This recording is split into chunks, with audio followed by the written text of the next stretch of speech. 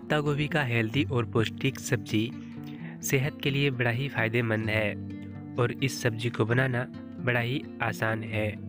तो हेलो दोस्तों, मैं हूँ मनीष। आपका स्वागत करता हूँ एम बिहार में। तो आज हम बनाने वाले हैं पत्ते गोभी का पौष्टिक और हेल्दी सब्ज़ी।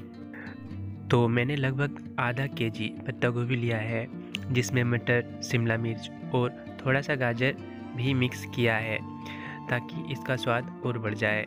तो मैंने काटने वाला सामग्री को अच्छे से कटिंग कर लिया है और मटर और पत्ते गोभी को अच्छे से पानी में वॉश कर लिया है।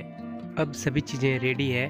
तीन से चार लहसुन, दो हरी मिर्च, शिमला मिर्च, गाजर, प्याज और थोड़ा सा मटर। तो अब चूल्हे पर कढ़ाई गर्म होने के लिए रख दिया है।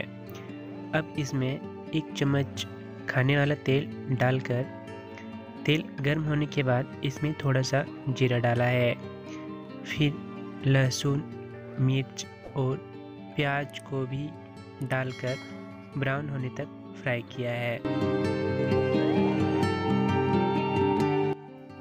प्याज फ्राई करने के बाद अब इसमें सबसे पहले कटा हुआ शिमला मिर्च, गाजर और मटर को दो मिनट के लिए फ्राई किया है।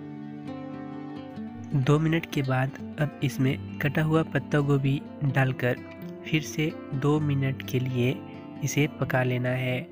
तो मैंने इसे कवर करके दो मिनट के लिए फिर से पकाया है।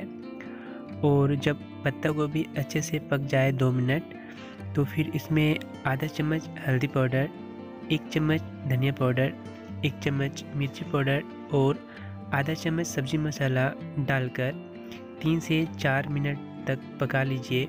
पकाने के बाद और इसमें आप नमक ऐड कर दीजिए। आपका पत्ता गोभी का सब्ज़ी तैयार हो जाएगा।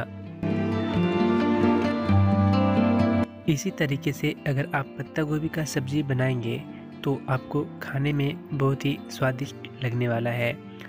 और आप ये रेसिपी एक बार ट्राई ज़रूर करिए। और आपको ये रेसिपी अगर पसंद आया हो तो वीडियो को लाइक कर दीजिए। और आपने अभी तक इस YouTube चैनल को सब्सक्राइब नहीं किया है तो हमारे साथ बने रहने के लिए आप इस YouTube चैनल को सब्सक्राइब भी कर सकते हैं। तो आज की वीडियो में बस इतना ही। आपका बहुत बहुत धन्यवाद इस वीडियो में बने रहने के लिए।